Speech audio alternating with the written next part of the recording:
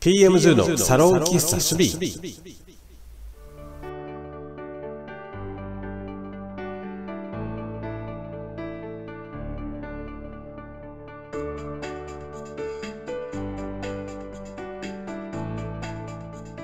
TY19636 ムーン。SI スタジオからお送りします。PM10 のサロン喫茶守備メインパーソナリティの守備ですこの番組は私守備の何気ない日常最新の情報そして皆様とのトークをお届けしていく番組です。毎週土曜日夜10時から放送しています。いらっしゃいませ。今夜もサロン喫茶でぼーっと聞いていってください。5月21日街中では半袖の人が多くなってきました。少しずつ暑くなってきてああもう守備にとってはたまらない辛い季節がやってきます。ちょうど5月と6月の間衣替えの季節だと思うんですけど皆さんはどういう風に衣替えをしますか？もう大胆に冬服はタンスにしまって、半袖だけ出す。そんな感じでしょうか。自分の中で衣替えっていうのはあまりなくて、冬服とかは年中置いてますね。基本厚着をしたくない薄着が多いから。結局夏の服とあんまり変わらないっていう感じなんですけどね。それでも街中で半袖の人を見ると、あ、ちょっと季節変わってきたんだなって、そんな実感があります。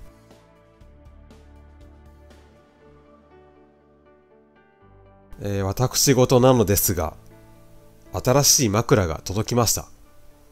えー、今まで、まあ、この人生の中でいい枕に出会ったことがなくてですね、守備は高さがある枕が好きで、硬くて、高くて、ちょっと寝にくいような。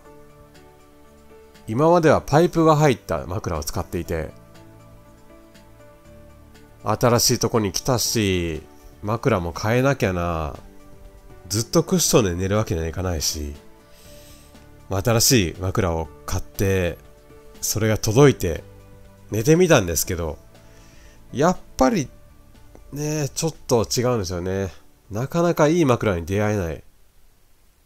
最近近くのスーパーなどで、えー、見ていた枕で一番良かったのがニトリのナチュラルフィット枕。横向きで寝るのもいいし、仰向けで寝るのも最適な枕みたいな。それが売り切れてまして、次入荷するのが6月の初めと言われて、ま、そこまではちょっと待てないっていうことで、同じようなものを Amazon で、えー、買ったんですけど、やっぱり違いますね。なんかもう、結局多分ニトリのやつをまた買うんだろうなと思います。寝る時の枕っていうのは本当に大事。毎日体験することですから、ちょっとここは整えたいなと思います。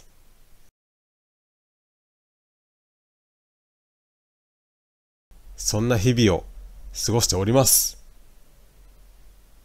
はい。それではここで一曲聴いていただきます。キンキキッズで Too Heart。キッズで Too Heart でした。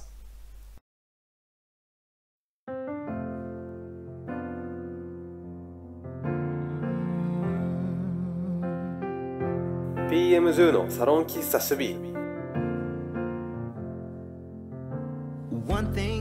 守備さっきの話でも出てきたんですけど、枕。そんな枕の使い方であなたの性格がわかるという心理テストがあるので、ちょっとこれを読みたいと思います。皆さんもこれに当てはまっているかどうか確認してください。夢を分析する学者たちや睡眠を研究する学者たちは寝ている姿を見るだけでその人の性格を知ることができるのだそうです。それだけでなく、その人のライフスタイルや個性、人格なども寝ている様子に現れると言います。これらすべては私たちが枕をどのように使うかによってわかるのだそうです。あるメディアで紹介された枕占い。今日は8種類の枕の使い方から性格を調べていきましょう。さあ、気になりますね。自分も当てはまってるのか。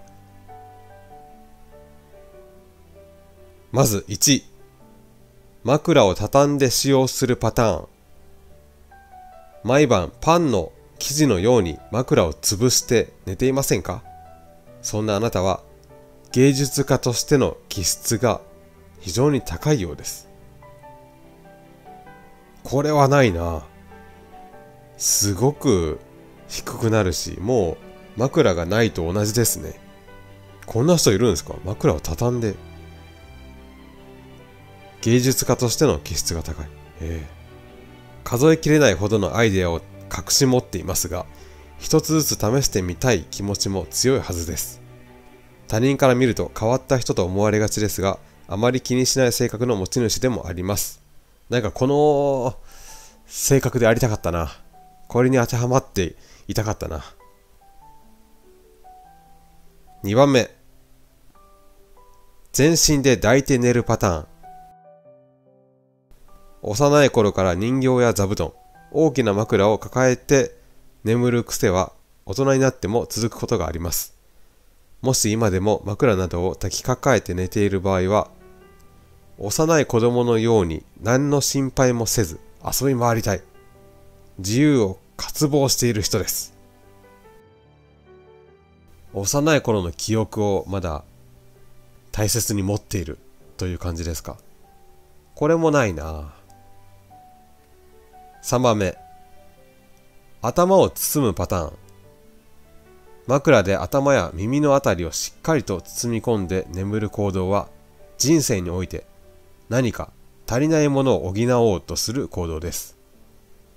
悩み事や心配事が多い人によく見られるパターンです。悩みや心配が解消されると枕の使い方が変わってくることもあります。頭を包むパターン。なんか初めて聞きましたね。逆に寝れないでしょう、これは。もう他の、なんか音とか、全部遮断したい。なんかそんなような寝方ですね。4番目。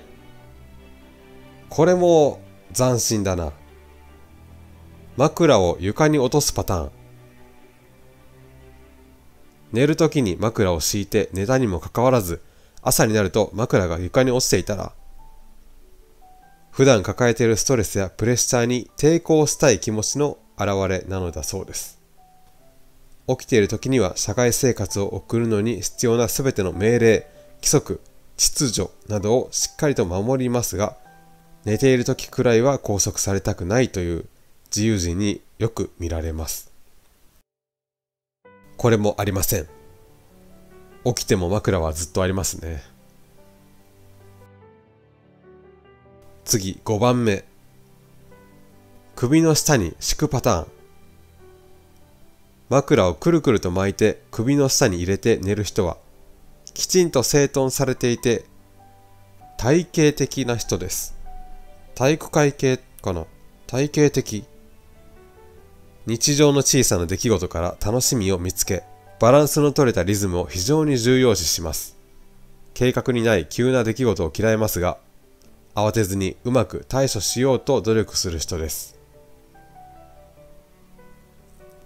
なんか昔の人の寝方みたいですね。首の下に敷く。これもないですね。6番目。壁にもたれるように立てかけるパターン。枕を壁に立てかけ、もたれるようにして寝る人は、大抵睡眠自体に苦痛を感じています。こういった人は活気に溢れ、一日中創意的なエネルギーが体中を駆け巡っています。寝る直前までメガネも外さず、手に本やスマートフォンを持ったまま寝入ることが多いでしょう。あ、ちょっと、これかな。確かに、寝る直前までスマートフォン見てますね。活気に溢れて、活気に溢れてるかな。うん、でも、もたれかけて寝たいっていう、ちょっと、その欲望はありますね。でもちょっと違うかな、結局。実際。持たれてないしな。7番目。枕を繰り返し回したりひっくり返すパターン。ああ、落ち着きがないな。誰でも寝るときに枕の位置をあれこれと変えることが時々あるはずです。しかし、習慣的に枕の位置をそのままにしておけない人は、かなり大きな野望を持っている人です。単純に落ち着いて睡眠をとりたいという野望を飛び越え、いつでも最高の状態でありたいと願い、他の人と違う道を選ぶことを恐れない人です。野望が満ち溢れている。まあ、落ち着きがないと言ってしまえばそうなんですかね。寝れてないですよね。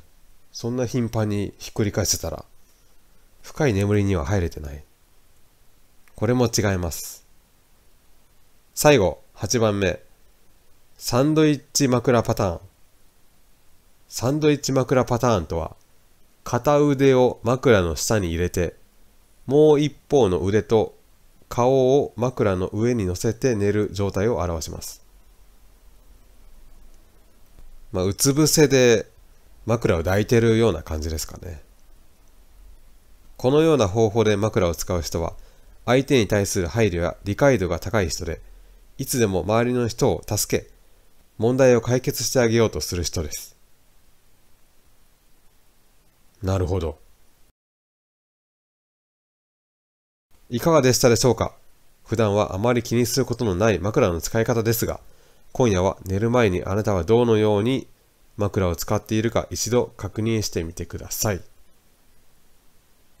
という8つの枕心理テストを紹介しました。皆さんは当てはまっているものあったでしょうか？えー、残念ながら守備はなかったですね。横向きっていうのがなかったなもうシンプルに横に寝たり、時々仰向けになったり、昔はうつ伏せだったんですけど、ちょっとあのー、耳を耳をなんか潰しすぎて寝てるのか、難聴になりまして、まあ、それが原因かどうかわからないんですけど、寝方を変えたら治ったので、あちょっとうつ伏せはもうそれ以来やってないですね。はい。ということで、皆さんも少し寝方を変えてみたら眠れるようになったり、ストレスがなくなったりするかもしれません。いろいろ試してみてください。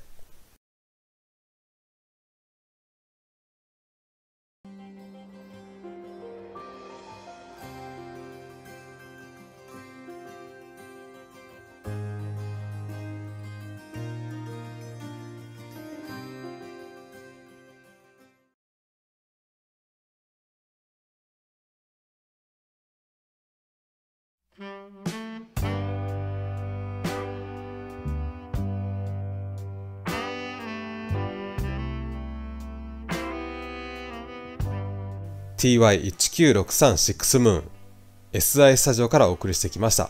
PM10 のサロン喫茶守備。そろそろエンディングのお時間です。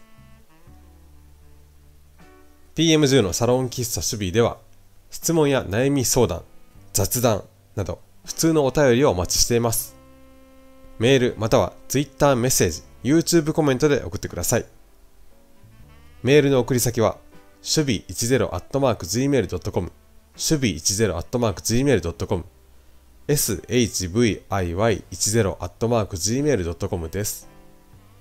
その他詳しくは Twitter をご覧ください。ここまでの時間は守備がお送りしました。ピロー